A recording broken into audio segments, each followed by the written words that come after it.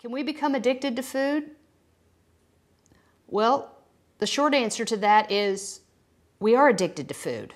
That's what our genetics say. Our genetics already dictate that we're supposed to be addicted to food. The reason we get addicted to drugs is because we have all the machinery in place to be addicted to food.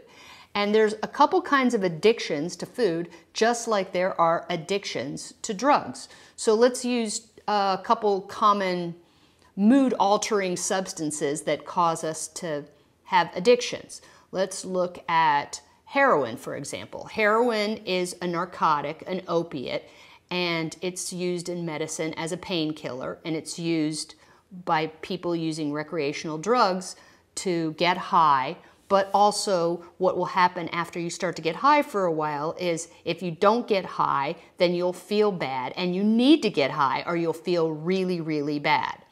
And the word for opiates is orphans, like endorphins, like a runner's high. So a lot of times I tease my running friends, I'm not a big long distance runner. And I say, well, you never get uh, a runner's high in anticipation of runner. So running. So you only get a runner's high because that's the endorphins in your body that kick in because you're in so much pain. So your body gets addicted to that that that kick of endorphins and you're willing to put yourself in pain to be able to get high. But that's not the only way to get high.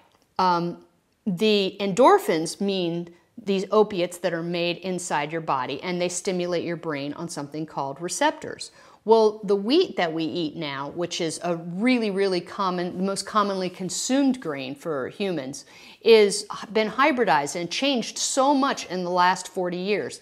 And it has a substance in it called exomorphins, which just mean it's like an endorphin, except for endorphin means inside your body, and exorphin means outside your body. So Yes, it's true.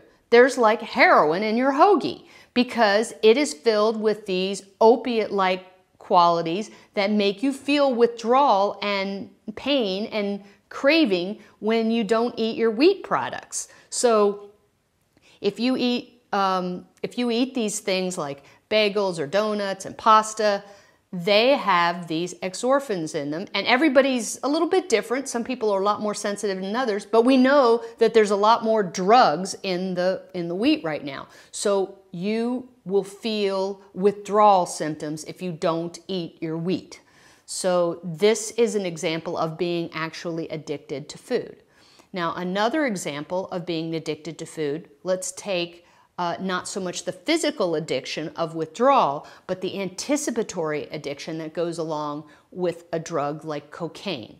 Now, cocaine stimulates an area of your brain that makes a chemical called dopamine. And dopamine is a really like awesome, great, excited, happy feeling.